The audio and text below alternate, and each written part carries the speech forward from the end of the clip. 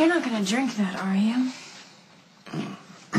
It's way too early for for Sophie. You got drunk again. No. Yeah, maybe. I don't remember. Do you remember making love the other night? I haven't heard from you since then. I, I didn't think you were that kind of a guy, Paul. I am. I'm that kind of a guy. I'm a terrible guy. You can ask anybody. I'd rather ask you. What's wrong? Nothing.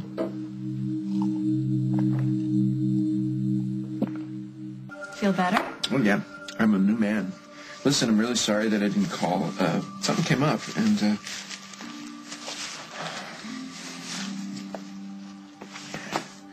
you have every right to be angry. I'm not. Well, I can never be angry. Never, never, never. You should never say never. What happened between us, Sophie? Well, should never happen again. Right. We needed each other. We still do. Paul, I'm good for you. Two people don't make love the way we did unless there's something very powerful between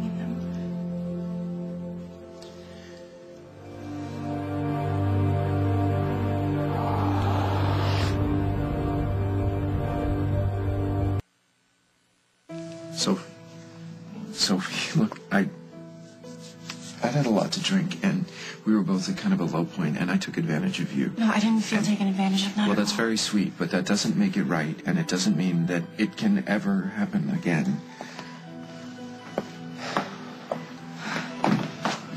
We've been attracted to each other for a long time. You can't deny that. And I had plenty of time to think about what we were doing. And when we were finally together, it's what we both wanted. Paul. Paul, there's nothing stopping us now.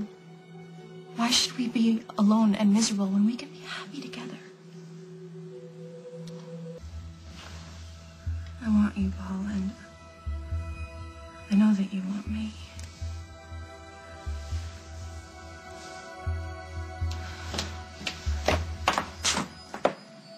What the hell is going on? I'm not gonna talk about it with you. That would have been a very serious mistake, Paul. You know, I I realize that you lost Meg. But rebounding with Sophie is not the solution. This girl is very vulnerable. She's desperate to feel needed and loved, and I know you feel sorry for her because I do too. But you can't let her think that she's got some kind of a future with you. Mom, I've done nothing to lead her to believe any such thing. Well, good. Then stop this before it gets worse. And on those uncertain terms, you let her know that what was about to happen will never happen again. Okay, you haven't told me yet. Are you going to stay away from Sophie or not? I am not talking to you about this. Paul, you're still in love with Meg. Admit it. Just took out a restraining order. Well, I can understand why you'd be angry, but this is no way to react.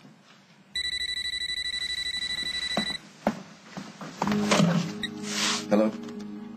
Oh, it's my attorney. Hello, Mr. Bill Blowers. How are you? No, no way. No. I don't care about it at all. I don't care if I do go to jail. I have no intention of fighting these charges. Just plead no contest. Really? Really? Fine, I'll be right there. I Have to go to the police station? I'll go with you. No. No. Neither one of you can help me. Sophie, the best thing you can do for Paul is to leave him alone. No. No, I can't. He needs me. Honey, he is in love with another But woman. Meg is no good for him. You can't stop him from feeling what he feels, Sophie. I can stop him. Because I can give Paul what he needs. Meg never will. There you are. Tell the DA I won't fight the charges. I don't care what happens. I just want to get this whole thing over. All the charges were dropped. How? You lucked out. And here's the person you have to thank. What, Meg Snyder's here? Guess again.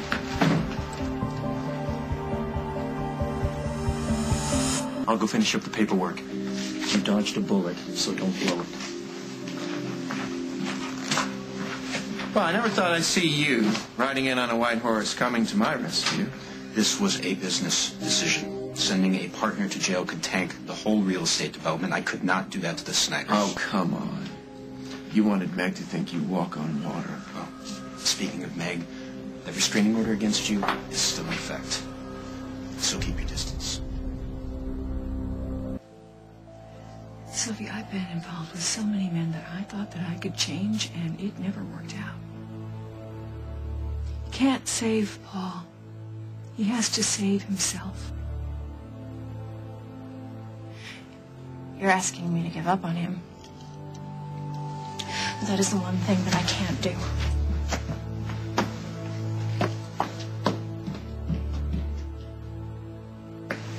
So now you're Meg's little pit bull? Meg has a restraining order, so don't go near the farm.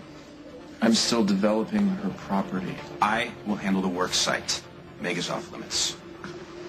If you go anywhere near her, you'll answer to me.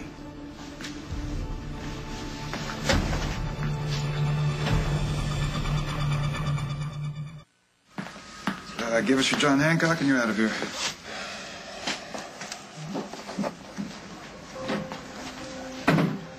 Paul, are you okay? We can't let them put you in jail. No, no, I'm, I'm, I'm a free man. Everything's fine.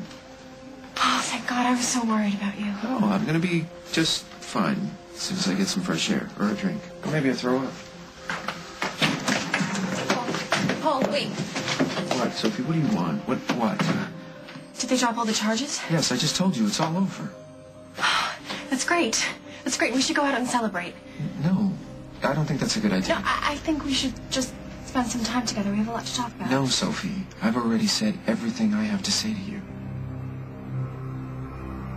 Sophie, I don't want to hurt your feelings, but my life right now really sucks, and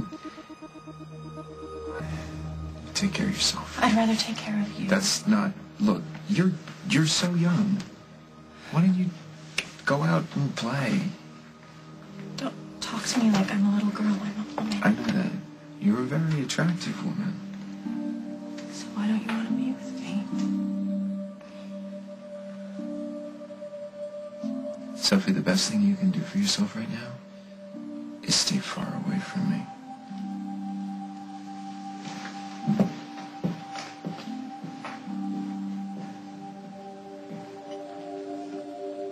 On the next As the World Turns. Now, Paul Ryan is in violation of his restraining order. Arrest him. Liberty, it's your dad. Open up. Um, don't, don't come in. You know, I, I'm naked. Do you remember me? Because I sure remember you. Oh! Holy cow. Juicy Janet.